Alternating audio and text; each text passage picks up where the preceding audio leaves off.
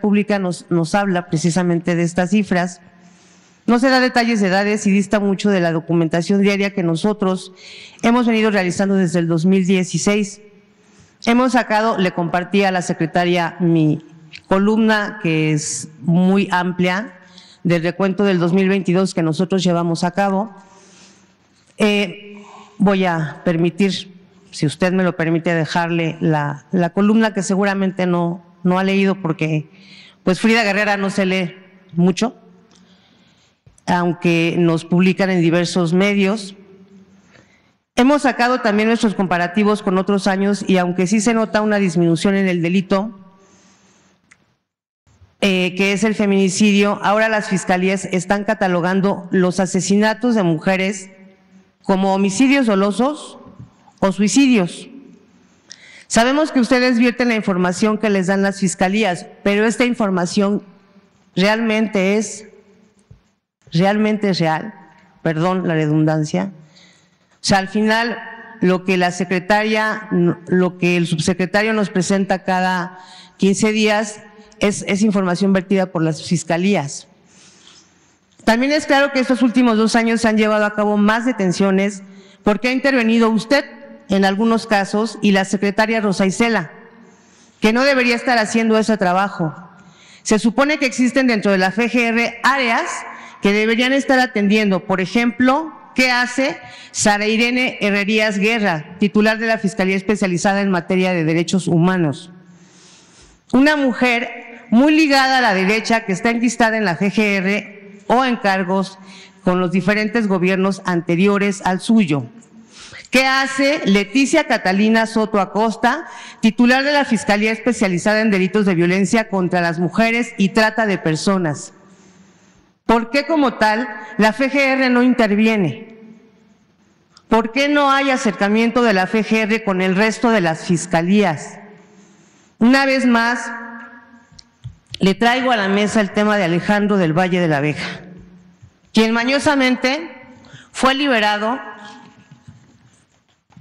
por el juez Javier Raúl Ayala Casillas en la madrugada del 15 de octubre, otra vez en la Ciudad de México, argumentando que no había datos de prueba que concretaran su vinculación a proceso por eh, violencia intrafamiliar y abuso sexual de su menor de seis años.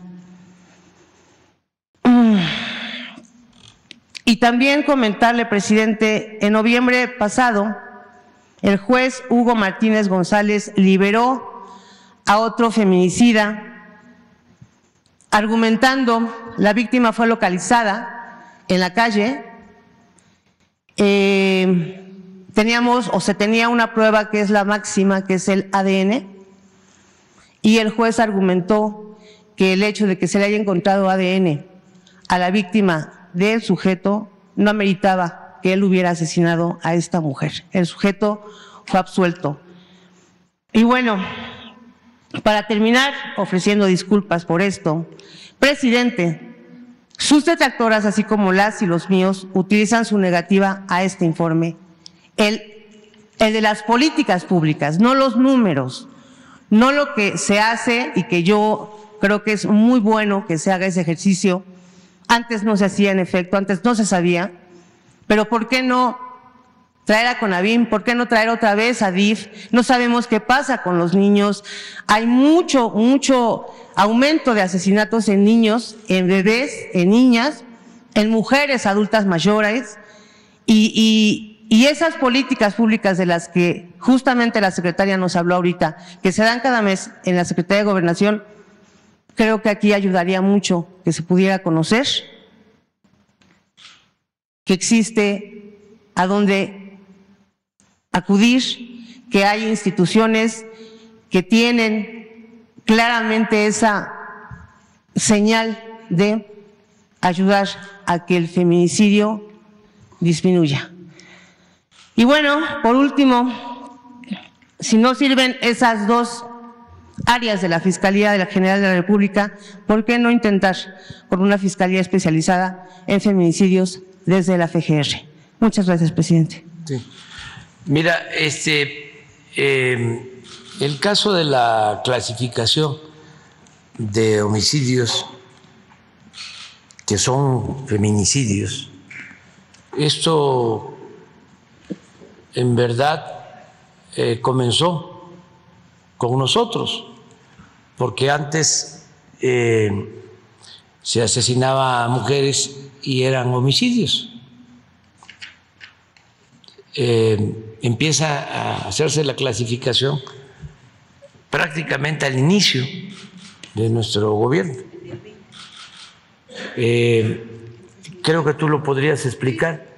Y sí me gustaría que se diera a conocer la lámina sobre eh, feminicidios, porque es parte del trabajo que se viene haciendo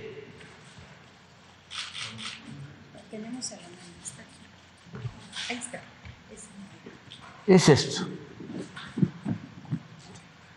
Entonces tenemos una disminución desde que llegamos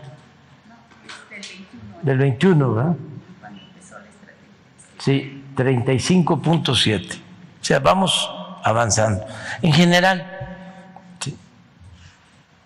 y ya se tiene esta clasificación y sí hay una estrategia específica para eh, enfrentar abusos, maltrato y estos extremos que son los feminicidios. ¿Y tú querías? Muchas gracias siempre por, por sus preguntas. Con su permiso, señor presidente. Eh, a raíz de que se hizo el cambio en la tipificación del delito de feminicidio, eh, se empezó, empezaron también con un reforzamiento.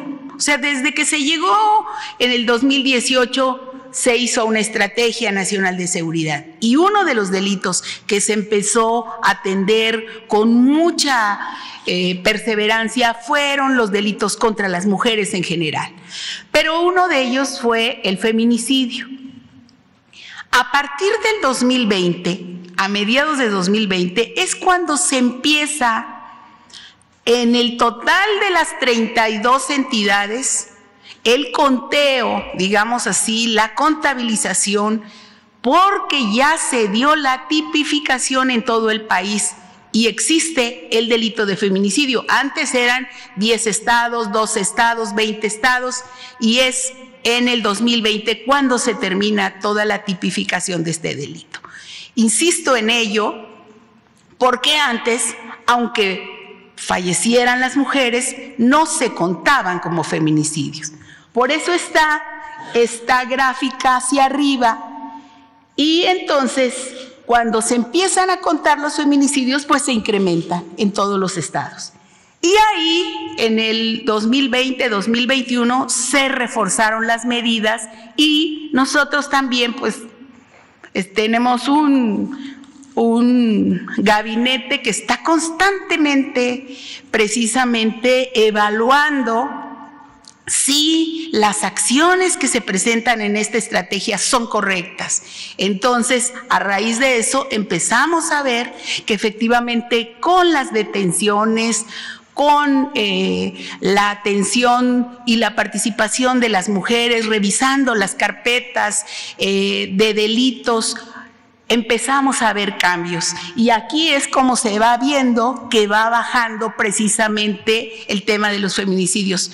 Pero sobre la otra pregunta que usted hacía, reitero también que las cifras que nos dan sobre todos los delitos proceden, como usted bien lo dice, de las fiscalías estatales.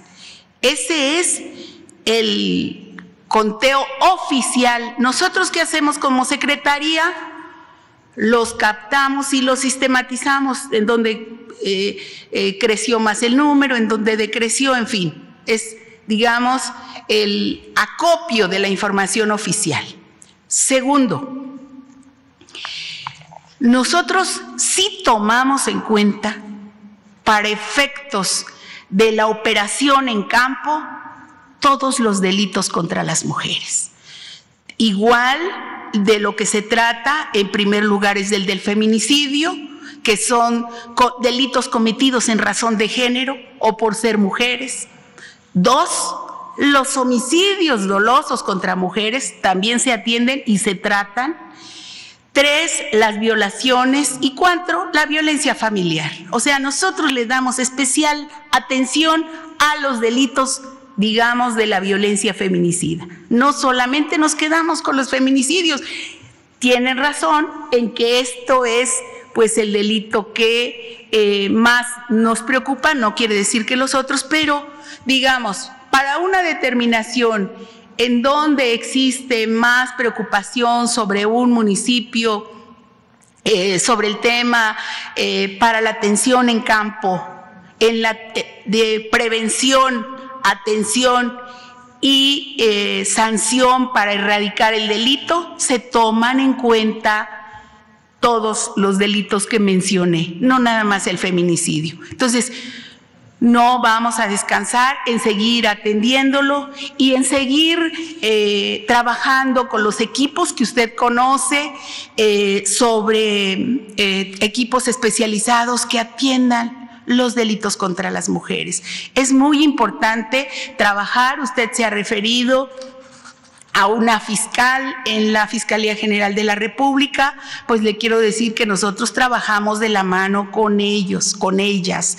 No se puede trabajar solamente en una isla, tenemos que estar eh, trabajando permanentemente con, con todas eh, las compañeras. A veces pienso que es por falta de información, que no conocemos todo y que sí sería bueno, pues como sugerencia, que también se diera la información de los avances que se tienen en los casos que ustedes tienen interés en conocer, como lo hacemos nosotros de manera transparente, pero de que están trabajando y lo estamos haciendo de la mano de la Fiscalía General, lo hacemos con respeto a su autonomía, como bien nos ha dicho el presidente, pero pues todos los días estamos en permanente eh, comunicación con ellos y no es por caso de mujeres, es por otros casos, pero ponemos atención a lo que usted nos está diciendo. Eso sería, presidente. Gracias, presidente. Gracias, secretaria. ¿Por qué no invitar al fiscal, a la fiscalía?